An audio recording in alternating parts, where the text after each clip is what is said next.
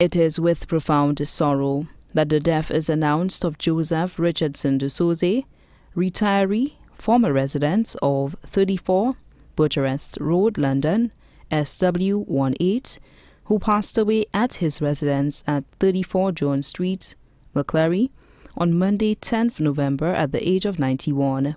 He was a former Scout Master of Scout troops at Roseau and Soufrière.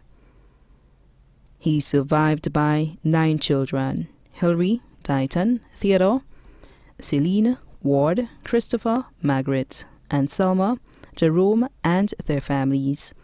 Also left to mourn 27 grandchildren and 18 great grandchildren, the Alexis and McVean families.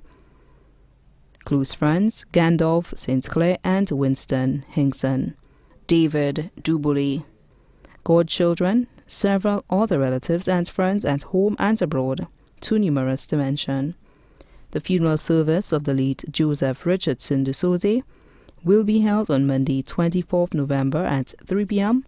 at the Lady of the Assumption Church in Soufrière. Then the body of the late Joseph Richardson Dusauzay will be interred in the Soufrière Cemetery.